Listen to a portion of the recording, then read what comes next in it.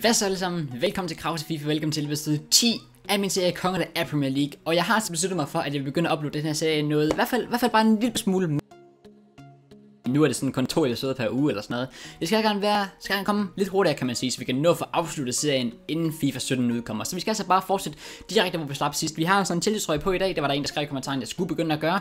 Og det giver selvfølgelig meget god mening, så ja, vi har den på, der står Diego Costa bagpå, men det er jeg sikker på, at mange af jer nok ikke gider at se på i hvert fald. Så, men ja, lad os bare komme direkte i gang. Og her kan vi så se den startopstilling, vi går ind med i første kamp i episoden her mod West Ham, som vi skal spille. Vi kører med, ja, stort set normal starter William og Pedro ude som de to kanter nu sammen. Det tror jeg altså alt det rigtige, jeg har prøvet før her, så nu prøver vi at se, hvordan det fungerer. Men ja, der sparker han direkte i gang med kampen. Der har vi William ude på kanten allerede. Hvad kan han her med bolden? Sætter Winston Reed af der. Sætter han videre i dybden til Benzema der. Uh, skyder lige over. Godt det der, William. Uh, det er godt det der. Ikke rigtig nogen, så han tager selv. Lille roulette der. Ligger den af til Eriksen får den der. Og Benzema gør det til 1-0 der. Hvordan gik den der i mål? Hold da kæft, den skal jeg lige se igen. Willian laver en fin roulette. Lægger den lige af til Eriksen. Eller ikke rigtigt, men alligevel meget heldig falsk Benzema. Men 1-0 til os. Den er altså med bolden der. Finder faktisk Willian i typen, der er ikke offside på ham. Finder Marcelo ude på kanten i dybden igen til William. Det er ikke dårligt spillet det der, og 2-0 til os, så går den altså i kassen. Rigtig, rigtig fin afspil, vi får lavet der.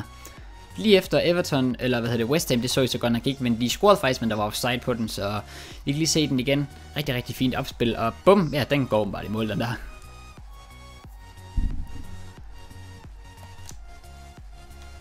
Der til William. Skulle man prøve at skud ud fra? Okay, den rammer overlæggeren, den der. Holy smokes, et mål. Eller et mål, ja, et mål, det kunne have været der.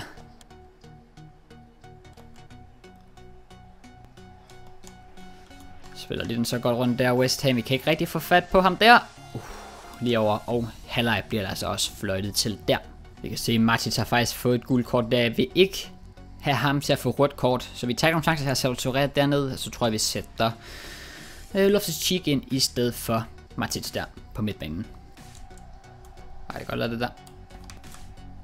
Benzema der med en lille... En lille babserspin, og den sidder altså i kassen. Hvad sker der lige for vores langskud her? Den ser vi lige igen der. Jeg har ret med assisten faktisk. Benzema. Bum, siger det. Så flyver den bare ind i målet der bag Adrian. Og 3-0 til os her over West Ham.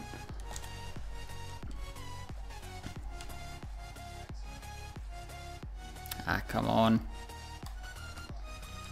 Uh, det er godt spillet der. Uh, tæt på den går i mål, den der. Jeg tænker, vi også lige kan få lavet en udskiftning her med det samme. Lige bruge vores sidste to. Vi sætter par op foran Benzema, i stedet for Benzema der. Så skifter vi Pedro, som har spillet en forfærdelig kamp faktisk, ud med...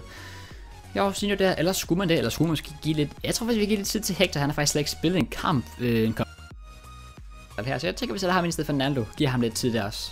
Så har Victor Moses bolden på kanten. Hvad kan han der? Ikke rigtig noget. Terry skyder bolden op. Kan vi nå en sidste chance? Det kan vi ikke. Og der bliver altså ført af 3-0 til os. Slår vi altså West Ham. Det er rigtig, rigtig fint resultat. Og faktisk uden rigtig nogen problemer. De har godt nok mest boldbesiddelse, men de havde ingen skud på mål overhovedet, sådan bogstaveligt talt. Så det var fint. Og vi hopper altså bare direkte ind i næste kamp. Vi skal spille mod Liverpool, som vi kan se her. Og holdopstillingen ser altså således ud. Vi giver Jorginho lidt tiden på banen igen. Laporte får lov at starte i for Naldo den her gang. Eller var det egentlig Naldo, der spillede sidste gang? Det kan jeg faktisk ikke engang huske. Men i hvert fald, Pedro han er røget ud af startstillingen igen. Fordi han ikke gjorde det godt nok. Vi lader tilbage på højre øh, kanten. Han gjorde det godt for sidste kamp. Men udover det, så ser holdopstillingen ud, som den plejer. Så lad os bare komme direkte i gang. Benzema med bolden op på midten af banen. Hvad kan han gøre med bolden? Har vi ude på kanten. Får fat i bolden. Benzema får den igen. Finder jeg Touré i dybden. Og jeg Touré gør det til 1-0. Han valgte simpelthen at løbe bolden i mål. Jeg, jeg prøvede, jeg sad bare og spammede rundt, fordi han skulle skyde til den, men i stedet for, så lader han den stille og roligt løbe ind iskoldt, og vi ser den lige igen rigtig godt opspil. Rigtig, rigtig, rigtig god stikning i dybden af Benzema. Og så ja, jeg tror ret, han løber bare over for at juble. Han er ligeglad. Bolden skal nok gå ind. Prøv at se. Ser den lige igen. Han er ligeglad. Ja, den skal nok gå ind. Vi ses. Jeg skal over og juble. Jo, Sinjo på kanten. Op mod Klein. Dribler ind i banen. Sætter faktisk Martin Skertel af. Han er helt alene der. Og er så tæt på at gøre det til 2-0 til os. Der Morena med bolden. Jordan har... Uh, sætter faktisk kill. Sætter faktisk alle tre mand af. Og så skyder de på mål der. Fan, fan, ja, dårligt. Ikke fantastisk. Modsatte af fantastisk hårdspiller også der.